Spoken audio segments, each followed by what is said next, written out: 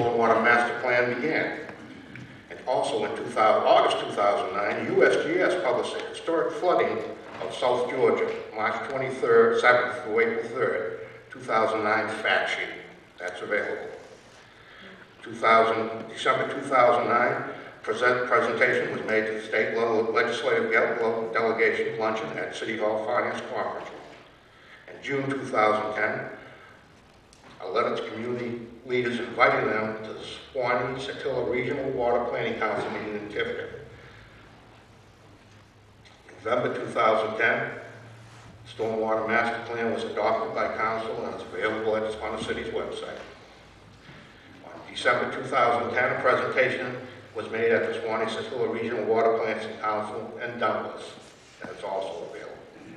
Letter to, in January 2011, a letter to the flood residents on the status of the key activities. The 80 letters were sent out at this time, going over what I had talked about previously.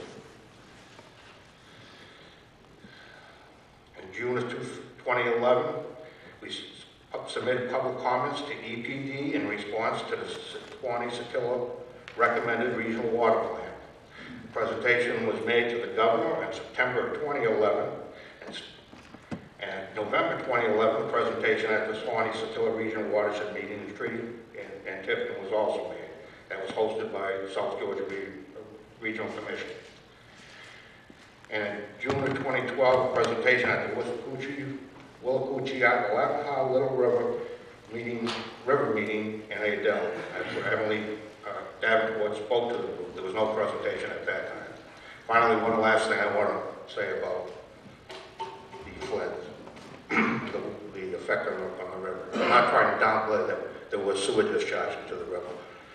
Using the G, USGS flow data for the river during the flood, USGS projects that the, at a flood stage where you just went through, the river flows at 30,000 cubic feet a second.